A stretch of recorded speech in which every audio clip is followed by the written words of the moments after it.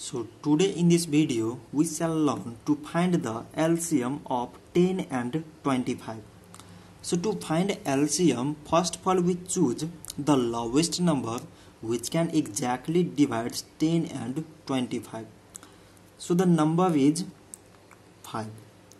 So 5 times 2 mean 10 and 5 times 5 mean 25.